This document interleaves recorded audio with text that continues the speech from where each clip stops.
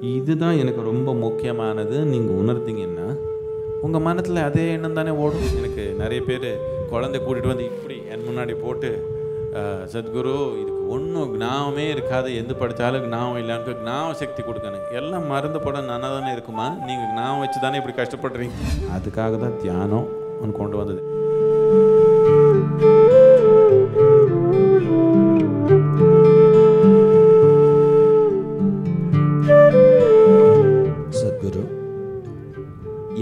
எவ்வளவுதான் முயன்றாலும். இறந்த காலத்தில் செய்த பிழைகள் தவறுகள் நிகழ்காலத்தில் மீண்டும் நினைவு வந்து மீள முடியாத வருத்தத்தில் வைக்கின்றதே. இவற்றிலிருந்து மீள வழி இல்லையா? ஏ இப்போ ஒன்றும் தவறு செய்கிறதுக்கு வாய்ப்பு கிடைக்கலன்னு கேட்குறாங்களா என்ன?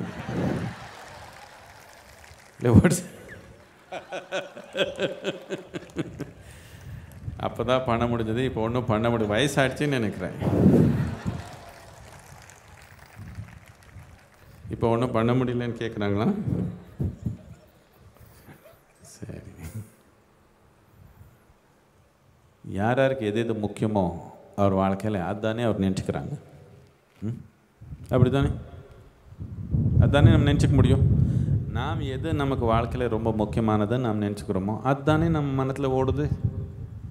அப்படி தானே ஓடுது? இப்போ நீங்கள் ஏதோ தவறுன்னு இன்னொருத்தர் சொன்னாங்க. நீங்கள் அது செஞ்சது என்னதுக்குன்னா அது உங்களுக்கு நல்லா இருந்தது. அதுக்கு தானே போனீங்க. ஆனால் செஞ்சாச்சு. இப்போ எல்லாருமே தவறுன்னு சொல்கிறாங்க இப்போ வயசாயிடுச்சு.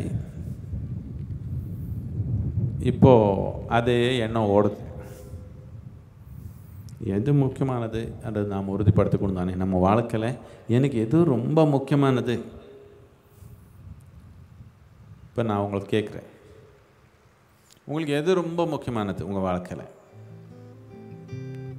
நீங்கள் ஆனந்தமாக இருக்கிறது ரொம்ப முக்கியமானதா?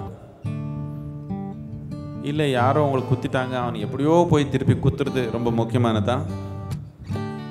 இல்லை நீங்கள் ஏதோ ஒரு தொழிலோ வேலையோ ஏதோ பண்ணிக்கிறீங்க ஏதோ ஒரு நாலு காசு சம்பாதிக்கணும்னு நினச்சிக்கிறீங்க. அதே ரொம்ப முக்கியமானதா? எது ரொம்ப முக்கியமானது உங்களுக்கு? ஆனந்தமாக இருக்கிறது முக்கியமானதா? இதுதான் எனக்கு ரொம்ப முக்கியமானது. நீங்கள் உணர்த்திங்கன்னா உங்கள் மனத்தில் அதே எண்ணம் தானே ஓடும். எப்படி என்ன ஆனந்தமாக இருக்கிறது ம்? அதுதானே ஓடும். இப்போது இது தவறுன்னு நீங்கள் நீங்கள் தவறுன்னு உணர்தான் இது நீங்கள் பண்ண மாட்டீங்க. உங்களுக்கு நல்லதுன்னு நினச்சி தான் நீங்கள் பண்ணீங்க. பத்து பேர் சுத்தா அது தவறுன்னு சொல்லிட்டாங்க. அப்படி தானே இப்போ அது கொஞ்சம் குத்துது நரக்கத்துக்கு போயிடுவேனோ என்னமோ. வேறு ஏதோ பாதிப்பு வந்துடுமோ என்னமோ? ஏதோ மனத்தில் ஒரு பண்ணணுமே வேலை. இந்த மனம்ன்றது பலவிதமாக செயல்பட முடியும். இப்போ உலகத்தில் ஒரு பிரச்சனை என்னென்னா இந்த மனம்ன்றது ரொம்ப ஒரு அடிப்படையான நிலையில் தான் மக்களை உபயோகப்படுத்திருக்கிறாங்க. இது என்னென்னா ஞாபகசக்தி கற்பனை. நேற்று செஞ்சதெல்லாம் ஞாபகம் இருக்குது. அதை வச்சுட்டு நாளைக்கு என்ன செய்யலாம்னு ஒரு கற்பனை நடக்குது கற்பனைன்றது புதுசாக ஒன்று வராது. நம்ம ஞாபகத்தில் என்ன இருக்குதோ அதே நாம் கொஞ்சம் அதிகப்படுத்த கற்பனை. அப்படி தானே நம்ம ஞாபக சக்தி எடுத்துகிட்டு கொஞ்சம் மேக்கப் படித்தா அது கற்பனை தானே? அப்படி தானேம்மா கற்பனையில் நம்ம அனுபவத்தில் இல்லாதது ஒன்று வராது. நம்ம அனுபவத்தில் இருக்கிறது தான் கொஞ்சம் அதிகப்படுத்தி நமக்கு வருது. இந்த ரெண்டு சிக்கலில் இந்த ஞாபக சக்தி கற்பனை இந்த சிக்கலில் சிக்கிட்டிங்கன்னா புதுசாக உங்களுக்கு ஒன்றும் நடக்க முடியாது வாழ்க்கையில். அதே பழசு தான் சுற்றி சுற்றி சுற்றி அதே நடக்குது. கொஞ்சம் மிகப்படுத்திக்கலாம். நம்ம ஞாபகத்தில் இருக்கிறது கொஞ்சம் மிகப்படுத்தி நாம் கற்பனையாக பண்ணிக்கலாம். எப்போ நாம் இந்த சிக்கலில் சிக்கிட்டோமோ ஞாபக சக்தி கற்பனை இவ்வளோ தான் நடக்குது. இப்போ அப்படி தானே மனம் நடந்திருக்குது? இது ரொம்ப மனத்தில் அடிப்படையான சக்தி இது. ஞாபக சக்தின்றது. என்னென்னா எனக்கு நிறைய பேர் குழந்தை கூட்டிகிட்டு வந்து இப்படி என் முன்னாடி போட்டு சத்குரு இதுக்கு ஒன்றும் ஞாபகமே இருக்காது. எந்த படித்தாலும் ஞாபகம் இல்லைன்னு ஞாபக சக்தி கொடுக்கணும். எல்லாம் மருந்து போட நல்லா தானே இருக்குமா? நீங்கள் ஞாபகம் வச்சு தானே இப்படி கஷ்டப்படுறீங்க.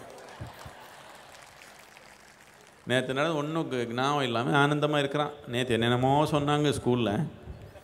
இவன் ஆனந்தமாகவே இருக்கிறான். அவர் சொன்னதெல்லாம் கேட்டு ஞாபகம் வச்சுருந்தா எல்லாம் போயிருக்கும். இவன் ஆனந்தமாகவே இருக்கிறான்.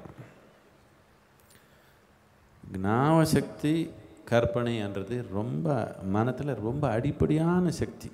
அது வேண்டாம்னு நான் சொல்லலை. ஆனால் ரொம்ப அடிப்படையானது. அந்த நிலையிலேயே மனம் உபயோகப்படுத்தான். பழசுன்றது இறந்த காலம்ன்றது நம்ம வாழ்க்கையில் நிகழ்ந்த காலம் மாதிரி நடக்குது. என்னத்துக்குன்னா இப்போது உங்களுக்கு தெரிஞ்சது எல்லாமே ஞாபக சக்தி தானே? உங்கள் அப்பா யாருன்னு கேட்டால் இவரான்னு சொல்கிறீங்க எப்படி? ஞாபக சக்தி தானே? ம்? உங்கள் தாய் தந்தை இருந்தாலும் சரி உங்கள் கணவன் மனைவி இருந்தாலும் சரி உங்கள் குழந்தை இருந்தாலும் சரி உங்கள் தொழில் இருந்தாலும் சரி உங்கள் அந்தஸ்து இருந்தாலும் சரி உங்கள் ஜாதி மதம் எது இருந்தாலும் சரி எல்லாமே ஞாபக சக்தி தானே? அவ்வளோதானே அது மிகப்படுத்திக்கிறீங்க. ஞாபக சக்தியில் என்ன இருக்குதோ அது எல்லாமே கற்பனையில் மிகப்படுத்துகிறது.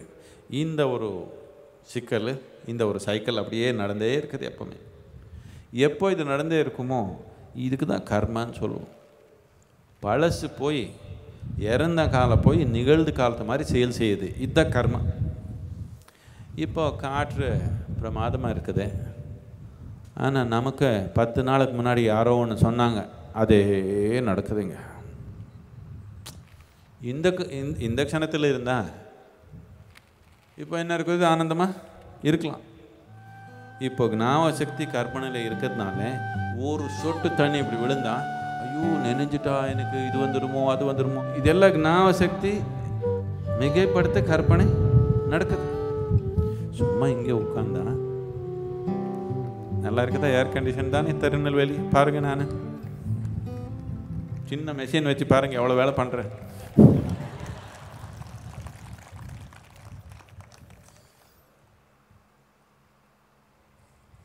இந்த க்ஷணத்தில் இருக்க முடியாது. எதுக்குன்னா இந்த பழைய கர்மம் ஓடுது. இந்த மனம்ன்றது ரொம்ப அடிப்படையான நிலையில் உபயோகப்படுத்தி வந்திருக்கிறோம். மனத்து ரொம்ப முக்கியமான தன்மை என்னென்னா ஞாபகசக்தி இல்லை.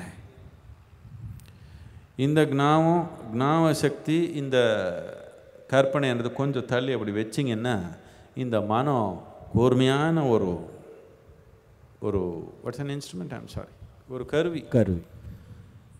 இது இப்போ உங்கள் பரி உங்கள் அனுபவத்தில் இல்லாத பரிமாணங்கள் எல்லாமே நம்ம அனுபவத்தில் கொண்டு வர்றதுக்கு இந்த மனம் ஒரு கூர்மையான கருவி.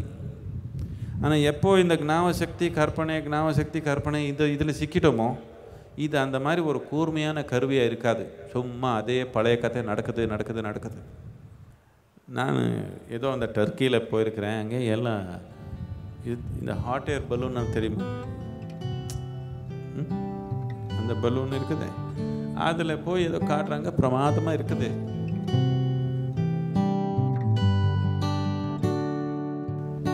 நமக்கிட்டையும் கேமரா இருக்குது. நம்ம மேலே கேமரா எல்லாம் மறந்து போயிடுச்சு. நம்ம இப்படி இருக்கிறோம். இந்த ஜப் ஜாப்பனீஸ் ஆளும் ஒரு நாலஞ்சு பேர் இருக்கிறாங்க. இதுலேயே பார்த்துக்கிறாங்க இப்படி. அதுலேயே பார்த்து பார்த்து பார்த்து ஒரு ஆள் இப்படி ஃபோட்டோ எடுத்து எடுத்து இப்படி பண்ணி டும்மன் விழுந்தாங்க. ஒரு தோராயமாக ஒரு முப்பது நாற்பது அடி மேலே இருக்குது. அங்கேருந்து விழுந்தான். இதெல்லாம் உடஞ்சி போச்சு அவனுக்கு. தோள்பட்டை எல்லாமே ஃப்ராக்சர் ஆயிடுச்சு. ஏன்னா கேமராலேயே பார்த்து பார்த்து பார்த்து என்ன நடக்குதுன்னு புரியல. என்ன அதுக்குன்னா வீட்டில் போய் பார்த்துக்கணும் நீ. இப்போ வீட்டில் பார்த்துக்கிற மாதிரி இருந்தால் அப்போவே நமக்கு முன்னாடி போய் எல்லாருமே ஃபோட்டோ எடுத்துருக்குறாங்க. நாம் வீட்லேயே பார்த்தா அது புத்திசாலித்தம் நீங்கள் எல்லாம் டிவிலேயே சூரிய சூரியாஸ்தமோ சூரியோதயம் எல்லாம் பார்த்தீங்க இது சரின்னு சொல்கிறீங்க திருநெல்வேலியில் சூரியோதயம் நடக்கலையா? சீனரி எல்லாமே டிவிலேயே பார்த்துட்டா பரவாயில்ல. அங்கே போய் நீங்கள் அதுலேயே கேமராலேயே பார்க்குறது எனக்கு ஏதோ போனீங்க நாலு ஃபோட்டோ எடுக்கணும்னு இருக்குது அது வேறு விஷயம். இப்போ நான் இங்கே வந்தாலே சத்சங்கில் இந்த செல்ஃபோன் கேமராவில் இப்படி வீட்டில் போய் சத்சங் பண்ணிக்குவாங்க. என்னத்துக்குன்னா இந்த ஞாபகம் கற்பனை ஞாபகம் கற்பனை இதுலேயே போகுது. இந்த மனம் ஞாபகம் கற்பனைக்காக இல்லை. ஞாபகம் என்ன? இப்போ எது பேசினாலும் அங்கே ரெக்கார்ட் பண்ணிக்கிறாங்க அவரை. எல்லாமே அது அந்த மெஷின்லேயே வச்சுக்குது. நீங்கள் என்ன பெரிய வேலை பண்ணுறது அது? ஆனால் கற்பனை கற்பனை பண்ணிக்காமல் நான் எப்படி சொன்னனோ அப்படி சொல்லுது. நீங்கள் அப்படி இல்லை வீட்டில் போய் என்னமோ சொல்லிக்கிறீங்க. இந்த மனம் மனத்து ரொம்ப முக்கியமான தன்மை என்னென்னா இந்த ஞாபக சக்தி கற்பனை கொஞ்சம் அப்படி தள்ளி வச்சிங்கன்னா இது ஒரு கூர்மையான கருவி. இப்போ உங்கள் அனுபவத்தில் இல்லாத பரிமாணங்கள் எல்லாமே நம்ம அனுபவத்தில் நாம் கொண்டு வர முடியும். அதுக்காக தான் தியானம் ஒன்று கொண்டு வந்தது. என்னத்துக்குன்னா என்னமோ நடக்குது. என்னமோ இருக்கட்டும். நம்ம ஞாபகத்தில் குழந்தை வந்தாங்க. இருக்கட்டும் அழுகட்டும் அவர். கணவன் வந்தாங்க மனைவி வந்தாங்க நமக்கு பிடிக்காதவங்க வந்தாங்க கடவுளே வந்தாங்க. சும்மா விடுறதான் என்னத்துக்குன்னா எல்லாமே ஞாபகம் தானே. எல்லாமே இறந்த காலம் தானே. இறந்த காலத்துக்கு உயிர் கொடுத்தே போகிறீங்கன்னா உயிர் இல்லாமல் ஆயிடுவீங்க. உயிர் இல்லாதது உயிரோடு இருக்கிறதுக்கு முயற்சி பண்ணால் உயிர் கொடுக்கறதுக்கு முயற்சி பண்ணால் உயிரோடு இருக்கிறது உயிர் இல்லாமல் இருக்கிற மாதிரி இருக்குது இப்போ. கொஞ்சம் பயிற்சி யார் அவர்? பயிற்சி பண்ணிக்கலாம் டெய்லி. ரெண்டு தடவை பயிற்சி பண்ணியே இருந்தால் அதுக்கப்புறம் இப்படி உட்காந்தா ஞாபக சக்தின்றது இங்கே இருக்குது நான்ன்றது இங்கே இருக்குது. வேணுன்றப்போ தொட்டு பார்க்கலாம். வேண்டானா சும்மா விட்டுக்கலாம். அப்படி இருக்கணும் தானே? ம்? தலைமையிலேயே வச்சுருந்தான் எல்லாமே. ரொம்ப கஷ்டமாயிடும்.